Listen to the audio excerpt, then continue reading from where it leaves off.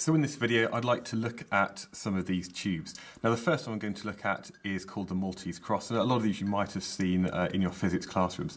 Now the, these tubes all follow the same kind of principle. What we have is uh, pretty much a near vacuum inside the tube, at one end, we have uh, a source of charged particles. Uh, in this case, it's cathode, uh, cathode, rays or electrons, and they're caused by thermionic emission up here. So we just apply quite a low potential difference. It causes thermionic emission of these electrons. They're accelerated through some kind of electric field, perhaps using an anode, and then we can study what happens inside.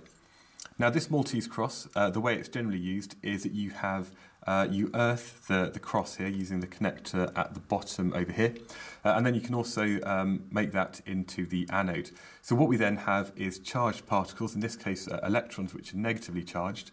As they are accelerated towards this um, cross, uh, a lot of the electrons hit it, the ones that don't hit it move on to the other side, uh, and then you have this very distinct kind of shadow with very kind of sharp lines.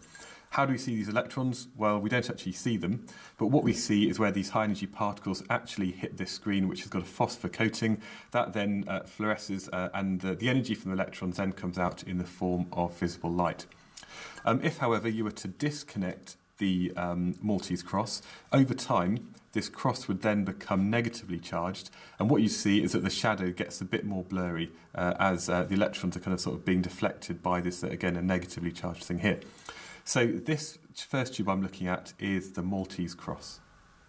This next tube here is called a deflection tube. Again, we have thermionic emission of electrons at this end. We accelerate them through uh, an electric field, but the bit we're really interested in is this part over here. Now, this is um, used to measure, this deflection tube is used to measure the charge to mass ratio, which is E over M. And we can do that by looking, by applying two fields inside it. First of all, we can apply an electric field, and we do that uh, vertically up and down by perhaps you know having uh, one of these at a positive potential. Um, and so we basically have this up and down electric field. Um, the other thing we can do is apply a magnetic field. And to apply this magnetic field, uh, we use uh, a couple of coils like these. Now these things here are called Helmholtz coils. Uh, and they're basically uh, to provide a magnetic field inside this tube. So we can set up these Helmholtz coils by having one behind and one in front. And what we then have is effectively if the current is moving in this direction, we then have uh, a magnetic field, which in this case is coming towards the camera. Think about that right-hand grasping rule that you might remember. So what we can do with these, with these uh, coils here is that we have um, a magnetic field that's either coming up or going down, and that then causes either motion up or down. And the idea with this is that as you have this uh, stream of charged particles moving across this screen, which again has a phosphor coating, so this fluoresces where you see the charged particles, we can maybe move the beam up using the electric field and then down using the magnetic field. And what we can try and do is maybe get the beam so it goes straight through. When it goes straight through, we can then use that information by measuring maybe the B field or measuring the, the size of the electric field in order to work out this charge to mass ratio. So this one is a deflection tube.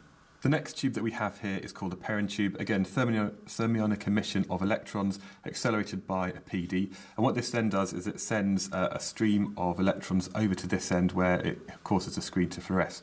But what we can do with this is use a bar magnet uh, to actually deflect that beam. And if we deflect it just enough, we can get it uh, to basically land in this uh, collecting can up here.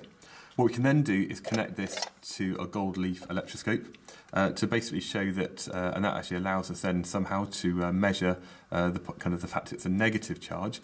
And this was used to show that this stream of cathode rays is indeed a negative uh, stream of particles. And this cathode ray causes this transfer of negative charge. Now this tube here is used for electron diffraction and this shows that uh, particles or things that we normally consider to be particles, these electrons, can actually be diffracted and therefore proving the wave-like uh, nature of some particles. So again we've got thermionic emission down here and actually this bit in here, I'm sort of just pointing to in here, there's a very fine mesh of nickel and deposited, deposited onto that is a very, very uh, thin layer of uh, sort of graphite or carbon. And this is the target that's actually acting as our diffraction grating. But it's the electrons that, as they move through this very, very thin kind of crystal lattice, they're uh, diffracted in 360 degrees, which then allows us to see this kind of circular pattern of concentric rings, um, which is, uh, again, fluorescing on the screen here. And this is evidence that electrons can behave and they travel like a wave. And the final tube that I don't actually have here is called a fine beam tube. And we can basically, uh, rather than having thermionic emission at the end, it kind of happens a bit further in this tube. If that's contained within a magnetic field, we then get a circular path of uh, electrons inside. We can actually see this circular path because what we have is a very low pressure gas inside it that uh, just fluoresces as electrons collide with it. Uh, and basically, what we then get is this nice circular path, showing again by um, you know the Lorentz force that uh, electrons or charged particles moving in a magnetic field applied by these Helmholtz coils do actually travel in a circular path. So that's a review of the five main tubes that we need to consider for A-level physics.